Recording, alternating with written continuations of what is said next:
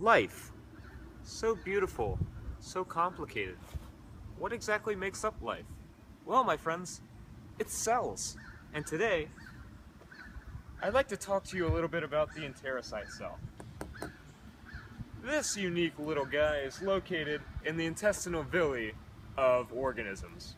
You know the villi, the little woo woo woo things look like fingers inside the intestinal tract.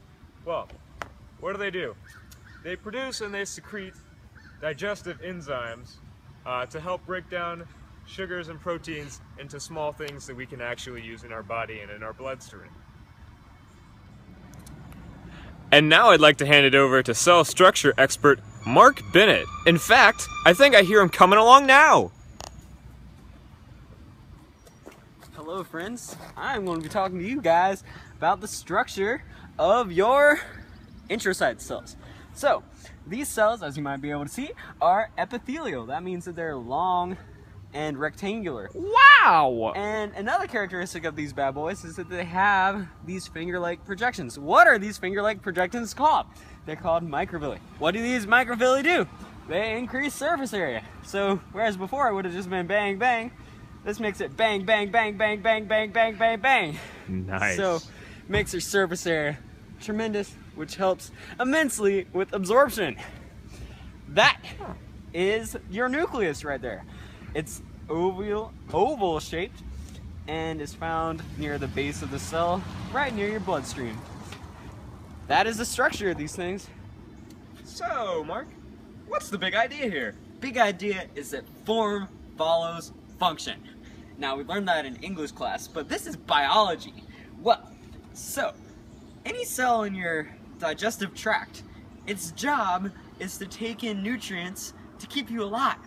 So these bad boys are gonna have to take in a lot of nutrients. How do they do this? Well, they do this through the absorption of things. And what do they need to do this? They need a high surface area to volume ratio. So how do they get this ratio?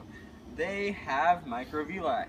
So these microvilli increase the surface area leading to higher absorption. So what what organelles are found in abundance in these bad boys? Well, until recently, scientists believed that the microvilli brush border located on these enterocyte cells was just for the sole purpose of absorbing materials. But they've actually found out that these things generate a lot of vesicles in order to transport these um, absorbed proteins and sugars um, and carry them through to the other side of the cell. So vesicles are definitely a big organelle in this in this cell. So if you're looking for a real-world example of these enterocyte cells, besides being in organisms' intestines, you can kind of think of it like the, the roots of this tree. Um, the roots are necessary in order to absorb uh, nutrients for the tree's health. And that is kind of the same function that these enterocyte cells have in our intestines.